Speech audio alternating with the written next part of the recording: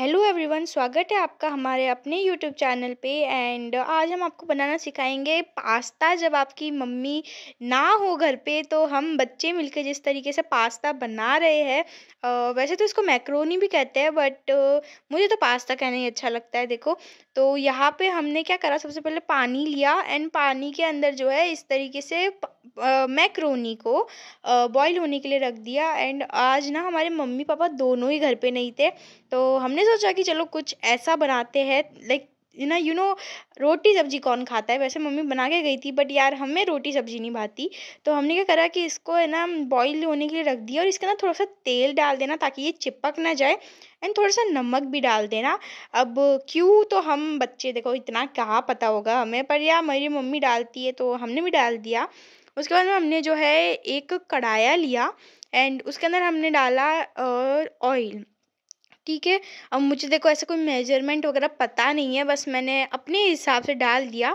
And उसको गर्म होने के बाद में जब वो दो मिनट में गर्म हो जाए, फिर आप उसके अंदर जो है, ये जीरा और राइस राई राई डाल दीजिए।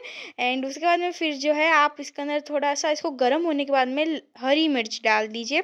एंड वो हरी मिर्च को अच्छे से पका लीजिए, फिर आप प्याज भी डाल दीजिए उसके अंदर और फिर उसको भी जो है अच्छे से सोटे होने के लिए रख दीजिए। और फिर जब ये दोनों अच्छे से पक जाए ना तो उसके बाद में फिर आप जो है इसके अंदर टमाटर डाल दीजिए। ठीक है? और ना, मेरे को तो ये ना, सब्ज़ियाँ काटने में इतना टाइम लग गया था बट कोई बात नहीं। आखिर में मेहनत सफल ही हुई, बहुत टेस्टी बनाता बाय द वे ये।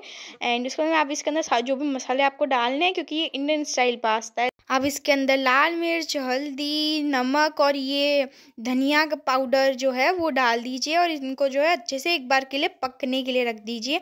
और उसको पकाने के बाद में फिर आप उसके अंदर जो है सॉसेज ऐड कर सकते हो। यहाँ पे मैंने थोड़ा सा गरम मसाला भी डाला था, क्योंकि मैं ये पड़ा हुआ था सामने ही तो मैंने डाल दिया। ये मेरी मम्मी ने बनाया था बाय द वे गरम मसाला। एंड इसके बाद में हम जो है, इसको थोड़ी देर के लिए पकने के लिए रख देंगे। एंड जब ये अच्छे से पक जाएगा, उसके बाद में हम इसके अंदर डालेंगे सॉसेज अब देखो, तुम लोग ऊपर से डालो सॉसेस वो तुम्हारी मर्ज़ी है। लेकिन फिर मेरे को बाद में मिक्स करने में प्रॉब्लम होगी। इसके लिए मैंने क्या करा कि अभी इसके अंदर red chilli sauce green chilli sauce अगर आपके नहीं है तो कोई बात नहीं यार टमाटो सॉस से भी अच्छा टेस्ट आ जाता है। और एक सोया सॉस और ये एक मेरे पास में पड़ा था हॉट चिल्ली टमाटो सॉस ऐसा कुछ। तो वो भी मैंने इसके अंदर थोड़ा सा डाल दिया एंड उसके बाद मैंने जो है इसके अंदर पास्ता ऐड कर दिया। अब यहाँ पे एक चीज़ जो हमने करी, वो हमने उसको बॉईल करके जो पानी होता है ना, थोड़ा सा ही बचा था तो हमने पानी के साथ ही पास्ता को डाल दिया ताकि थोड़ा सा सूपी सूपी सा हो जाए।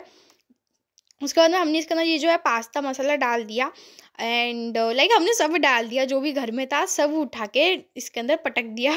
और इसके अंदर बस ये आपको सूपी जैसा लग रहा होगा ना तो हमने क्या करा कि वो बॉईल हुआ था ना तो बॉईल होने के बाद में थोड़ा सा ही पानी बचा था।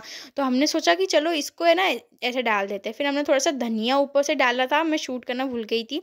फिर एट लास्ट हम जो है इसके अंदर सॉस डाल देंगे टमाटो सॉस ताकि उसका अच्छे से इन्हेंस होके फ्लेवर आए और उसके बाद में जो है हम विनेगर में भूल गई थी। तो ये जो अभी मैंने डाला है, ये विनेगर है। तो विनेगर भी डाल देंगे इसके अंदर एंड देखो इतना टेस्टी बना था ना। आप भी ज़रूर घर पे ट्राई करना। बाय